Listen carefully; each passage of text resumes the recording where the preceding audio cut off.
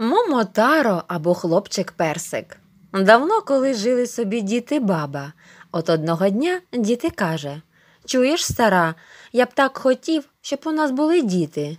«А вже ж, старий, це була б невимовна радість, відповідає баба. Зітхнули вони і узялися до роботи. Дід пішов збирати хмиз у гори, а баба прати білизну в річці. Пере вона білизну пере, коли дивиться, злегка погойдуючись, пливе річкою великий великий персик. Мабуть, дуже смачний, подумала баба, і, виловивши персик із води, понесла його додому. Прийшов дід увечері з хмизом. Гарний персик, чудовий.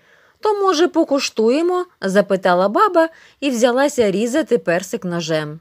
Та раптом сталося чудо. Щойно торкнулася вона персика, як щось закричала Ой, болить.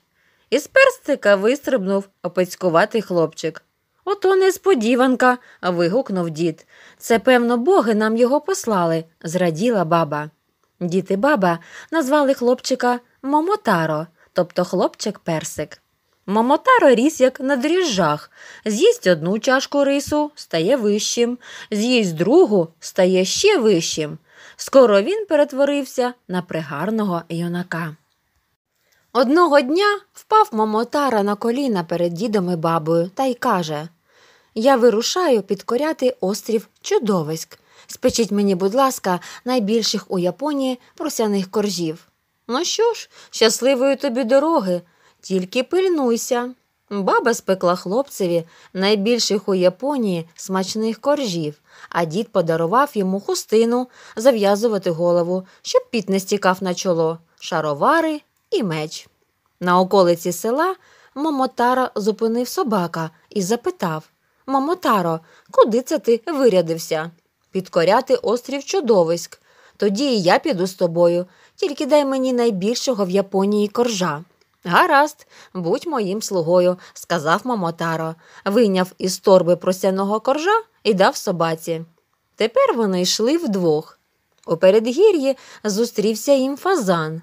Момотаро, дай і мені просяного коржа, попросив він. Гаразд, бери коржа і будь моїм слугою.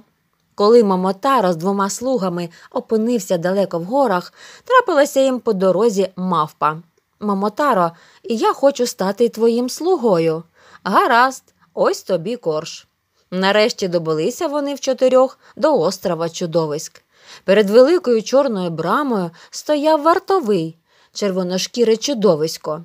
Фазан злетів у повітря і видзьобав йому око, а тим часом мавпа перестрибнула через браму і відсунула засув.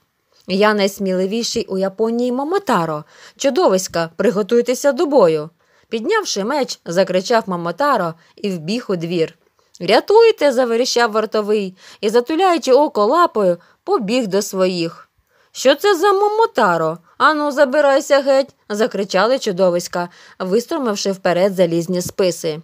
Та фазан кинувся дзьобати їм очі своїм довгим дзьобом, мав подряпати обличчя кігтями, а собака кусати за ноги. Ой болить, рятуйте, волали переможені чудовиська. Їхній вожак упав навколішки перед Момотаро і заблагав Прошу тебе, не вкорочуй нам життя. Віднині ми перестанемо чинити людям зло, а за це віддамо тобі всі скарби. Гаразд, нехай буде по-твоєму, погодився Мамотаро. Чудовиська навантажили візок з карбами, і троє слуг Мамотаро притягли його в село. А так і наш Мамотаро, найсміливіший у Японії, раділи діти баба, плескаючи в долоні.